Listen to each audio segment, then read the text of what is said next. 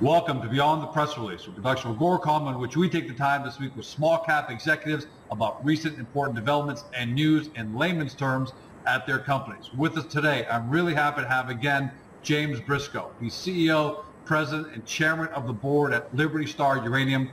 The company trades on the stock symbol LBSR. You can find them on the web at libertystaruranium.com or almost more importantly over at Agoracom where you can actually post your questions, get your answers, and have great civilized discussion with fellow shareholders. Uh, the company uh, the other day put out a press release regarding the Hay Mountain project uh, and uh, the release uh, and the requirement of a native plant survey. And here to talk more about that is James Briscoe. James, welcome to the show. Thank you, George. Glad to have you back. Uh, these are a big hit with all the with all the shareholders, so we figured why not keep communicating this way. Well, we have got lots of responses and I'm happy to answer any reasonable questions. So here we go. All right. So you're gearing up for uh, uh, for actual exploratory drilling, uh, hopefully of porphyry, copper, gold, moly, and other associated metals uh, at Hay Mountain. And as a result, you've been putting out some news, and this this is the latest one here. Um, so why is this survey important as part of the permitting process? Well, we're dealing with ranch land that's actually been ranch land for well over a hundred years, back going back to the 1880s when the Apaches were more or less uh, quelled a bit, but still not uh, completely removed. And so the uh, the state land uh, is comprises actually a high percentage of this particular area, unusually high percentage and they're very concerned with the vegetation there as it relates to cattle grazing. So when we talk about putting in roads and setting up drill sites, they are concerned about that. Although every time we pick up a sample, we take a picture of that sample and also where it was from and a picture facing north, south, east, and west. We have a lot of documentation on everything that we've done there. But uh, we actually submitted that to their plant specialist, and that plant specialist said, oh my heavens, uh, there's a lot of forbs out there. In which case we said, what? Uh, so we'll give a definition of what a forb is. But yeah, what what is a forb? Why are those? Uh, well, yeah, important? That that was uh, new to me, even though I'm a native uh, Arizonan, and actually my family grew up in this uh, area. But I'm going to read what a forb is because I didn't know what it was. A forb, F-O-R-B, which is sometimes spelled P-H-O-R-B, is a herbaceous flowering plant that is not graminoid, which means grass, grasses, sedges, and rushes. The term is used in biology and in vegetation ecology, which is what we're concerned with, especially in relation to grasslands and understory. so now you know what a forb is, and I kind of get it, but I'll be interested to see what what forbs we've been walking around. We don't trample things, but we walk around them. How long do you expect that uh, you know that part of the process to take? Uh, the specialist has been uh, contracted, and he's got an opening later this month or uh, the following uh, in in November. It's not much later on this month. I guess it's early next month, and it's only going to take a couple of days.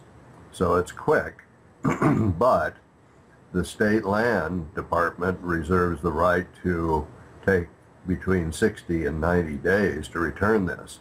So we have to get this underway so that all of these permits hit uh, at the right time to get the drill actually on the ground. So we have to have the drilling permit, the road permits, which we've got archaeological permit, and uh, now the vegetation permit. That's the last in a series of permits. So this is quite laborious and it's uh, it's tedious because you have to make all of the time frames of a whole bunch of people that we can't necessarily control and the state land uh, all uh, congeal at the same time so that we get our permits done and we can go to work.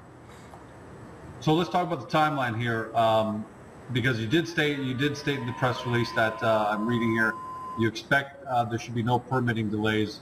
So what does this do for the January timeline expectations?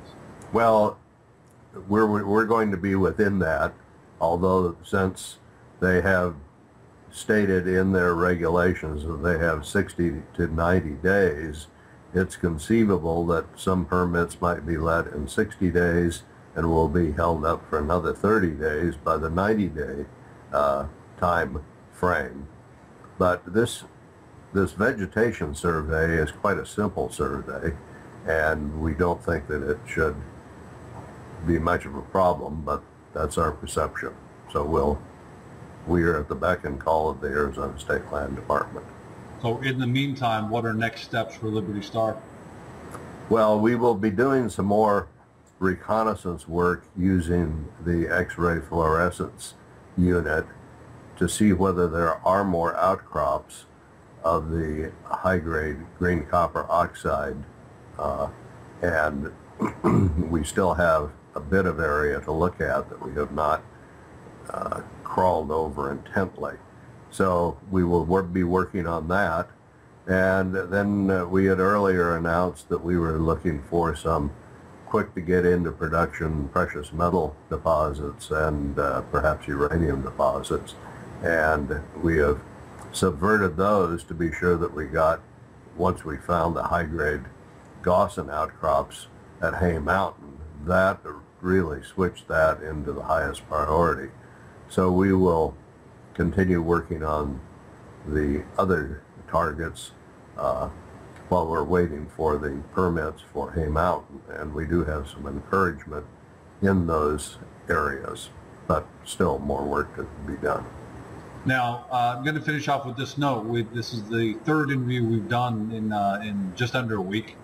They've, uh, they've had great reception, so we want to continue using this this mode of communicating with shareholders uh, as the company puts out more and more updates. But you may have to go into a quiet period. So uh, uh, if you could just kindly give everyone a little a little color on that, so that they don't think that we've uh, we've gone you know hardcore with these, and all of a sudden fall off we fall off the video the, the video face.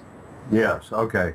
Well, we're in the uh, process of some financing uh, machinations, and the SEC requires that for their own reasons, which are a little bit hard to understand, that we have a quiet period where we don't talk about anything for uh, 30 days. So we have to observe that quiet period, and therefore we can't do this type of discussion for that period. So we haven't disappeared. It's just that we are under a stipulated quiet period stipulated by the SEC.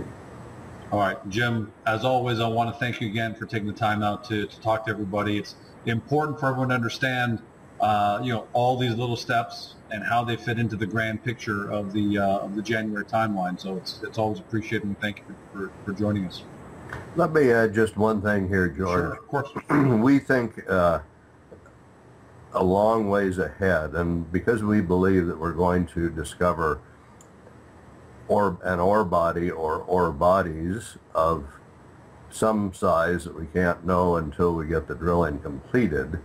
But I have designed what I call the Briscoe No-See-Um mine, and I presented this to the Nuclear Regulatory Commission in uh, 2006 related to our North Pipes projects where uh, there was a lot of pressure that actually ended up in having uh, the president uh, withdraw the area uh, entirely for 20 years, which pretty much puts it out of anybody's interest range. Regard, regardless, uh, these uh, this uh, approach to an invisible mine is applicable any place on Earth, and what it really does, it is allows us to first build the uh, overburden dumps so that they can seal the mine, including all equipment and all operations within um, a a circular uh, dump area and then because nowadays we can very carefully plan on how much uh, how much room will be required for overburden and other facilities. Uh, all that will take place interior and the exterior of the uh, pile of uh, overburden will be immediately remediated and replanted and it will be at a low angle so that uh, so that cows and other things can walk on it without problems. And as the mine approaches exhaustion with the last load of ore, the last amount of material will go onto this uh, dump uh, area. hate to call it a dump area, that's uh, actually pejorative, but this pile of existing soil and rock that came from the same area that we were working on uh, will be completely rejuvenated and we will plant the last plants and it will be done with. During the mine's life, you will see no mine, you will see uh, have no wow. dust, you will see no light, you will hear no noise, and it will look just like any of the other hills and mountains in the area that we'll be working in. And unless you fly over it in a helicopter, you're simply not going to see anything except vehicles going into what appears to be a hill and disappearing and then coming out and the community will get lots and lots of cash flow from all the good things that big mines bring to communities with no pollution, no aesthetic change, uh, and just positive stuff. Well, Jim, so, I got to tell you, even that, that caught me by surprise. That, that on its own deserves a full interview at some point in the future because that's that's no small potatoes. That's pretty big stuff that you're able to uh, pull that off, especially in the state of things the way they are now, where those environmental concerns are extremely important uh, in the success of a mining project and, and, and how much uh, support it gets from both government and, and, local, and local people. Well, this was a good entree to it, but I did, when I did present it to the Nuclear Regulatory Commission, uh, one uh, gentleman came up to me and said, Mr. Briscoe, I've been coming to these things for 33 years, and that is the most uh, far-reaching and most exciting thing I've seen since in those 33 years. So it is drastically important and it gets rid of all the objections to uh, mines, whether they're underground or open pit. Well, I think I speak on behalf of everyone when I say we're glad you're on our side. of course. Thanks, Jim. You've been watching James Briscoe. He's uh, CEO, President, Chairman of the Board at Liberty Star Uranium. You can find him on the web at libertystaruranium.com or on Agoracom by searching up Liberty Star Uranium. And as always, they trade on the stock symbol LBSR. Thanks for joining us, everyone. Have a great day, and we'll talk to you again very soon. Goodbye.